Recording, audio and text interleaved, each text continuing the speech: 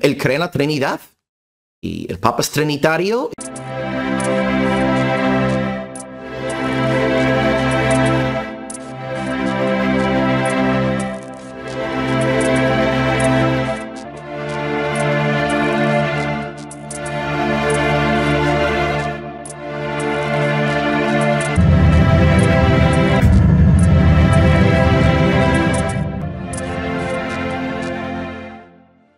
Bienvenidos una vez más con ustedes Claudio Saucedo desde Argentina.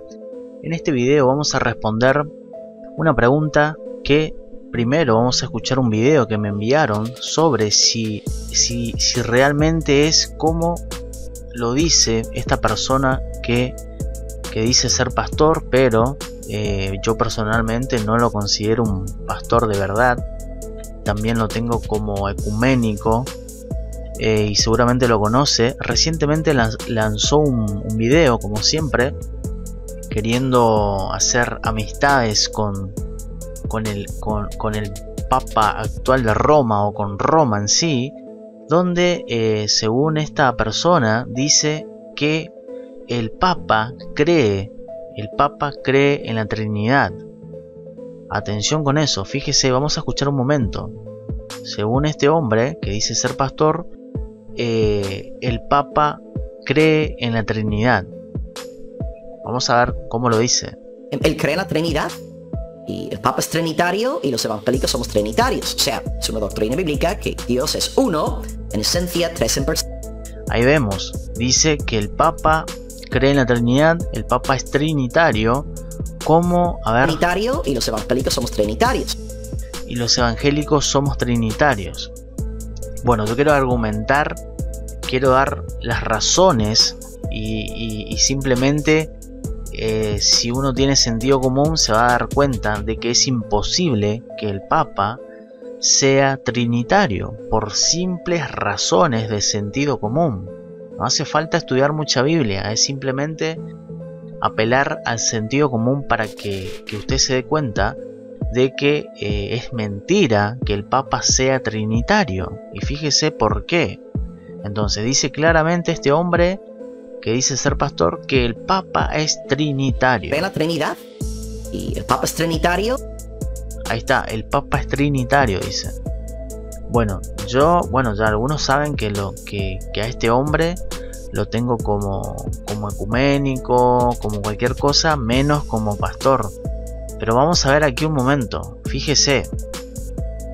El Papa no podría ser jamás trinitario por simples razones. Fíjese primero, el Papa, el Papa, según, según la, la, la doctrina católica romana, el Papa es el que está en la cima de la Iglesia Católica Romana, que en una palabra ha usurpado la jefatura de Cristo sobre, sobre su iglesia.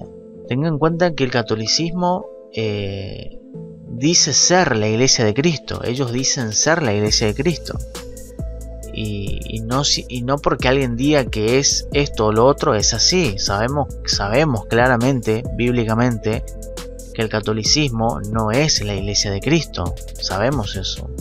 Entonces no podemos de ninguna manera eh, creer, pensar, creer que alguien es cristiano simplemente porque diga algo, algo que, está en la Biblia, por ejemplo, en este caso, eh, cuando este hombre dice que el Papa es trinitario, eh, lo puede decir. Quizás lo diga o lo dijo alguna vez o muchas veces de la lengua al paladar y nada más. Pero en la práctica sabemos que no es trinitario y que no es cristiano y que es totalmente eh, anticristo, literalmente, porque él, el Papa, como dice aquí, está en la cima de la Iglesia Católica Romana. Entonces, hay que llamar por su nombre, es la Iglesia Católica Romana, no es una iglesia cristiana, no es cristianismo, es romanismo, es catolicismo. Entonces el Papa eh, ha usurpado la jefatura de Cristo mismo sobre su iglesia. La palabra dice, la palabra de Dios dice claramente que Cristo es la cabeza de la iglesia. Entonces, entendiendo eso, es imposible que el Papa sea trinitario. Es imposible que crea en la Trinidad, porque él mismo está usurpando a Cristo mismo, está usurpando la jefatura de Cristo sobre su iglesia. Y también por razones obvias que todos conocen, eh, la idolatría por la adoración que promueve el catolicismo de los santos y la veneración de los ángeles, lleva a cabo una horrible exaltación de María por encima de Cristo e incluso Dios. Así que aquí vemos las razones simples para dejar claro que es imposible y es mentira que el Papa sea trinitario, no es trinitario. Entonces, cuando el Papa, que él dice ser Papa en su papado, en su en su en esa posición de que él es casi Dios, es decir, cuando uno ve esa palabra Papa o cuando uno le ve al Papa, ese es él dice ser, todos creen eso, el catolicismo cree el Papa es el representante de Dios en esta tierra. Entonces, es imposible que alguien en esa posición en la que está crea o sea trinitario. Así que aquí vemos simplemente, fíjese en este pequeño argumento de sentido común de que el Papa no es trinitario, no cree en la Trinidad. Entonces, eh, quería compartir esto para dejar claro porque eh, personas, personas así como, como este hombre confunde, confunde a muchos cristianos que son nuevos. Podría confundir porque es mentira, es totalmente mentira que el Papa sea trinitario. Ahora nosotros no podemos creer simplemente porque alguien eh, diga yo creo en esto y entonces es así. No, nosotros sabemos claramente que nosotros podemos decir que creemos en Jesús.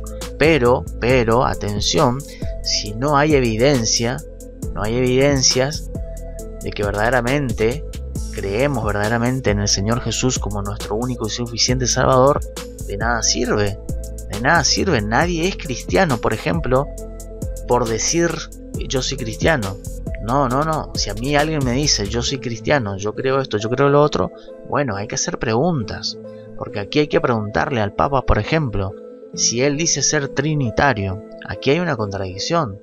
Si él de verdad cree en la Trinidad Divina, entonces aquí hay que, hay que preguntar por qué entonces él dice ser el representante de Dios en esta tierra. ¿Por qué él se hace llamar Papa? ¿Por qué él se hace llamar sumo pontífice? ¿Por qué? Entonces simplemente con esas preguntas es mentira que alguien crea en la Trinidad verdaderamente. No. Entonces debemos hacer preguntas, debemos plantearnos muchas cosas antes de afirmar que alguien supuestamente cree en la Trinidad. Y esta persona, esta persona que dice ser pastor, evidentemente no, no, no funciona su sentido común y tampoco funciona su sentido bíblico, porque aquí el Papa claramente está usurpando, usurpando la jefatura de Cristo sobre su iglesia. Nosotros tenemos solamente una cabeza sobre nosotros, que somos la iglesia de Cristo, y es Cristo mismo, no el Papa. No necesitamos de ningún representante como el Papa en este mundo. Por eso hay que dejar claro que tampoco este hombre deja claro eso.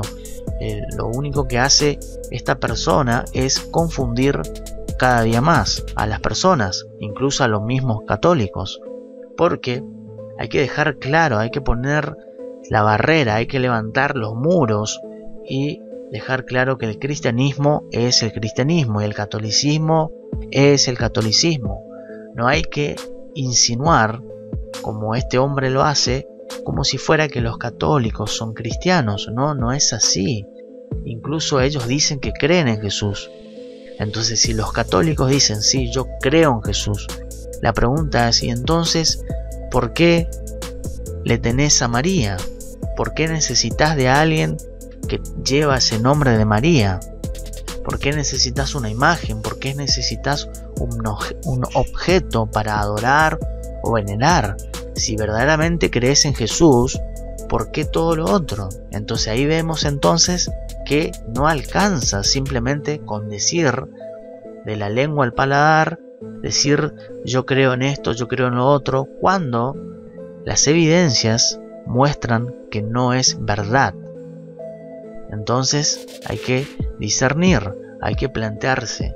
Y aquí simplemente hay una demostración clara de que el Papa, aunque él diga todo lo que quiera decir, en la práctica, en las evidencias que él va a dar después, son, confirma, confirma claramente que él no puede creer verdaderamente, no cree en una Trinidad, en la Trinidad bíblica, no es trinitario.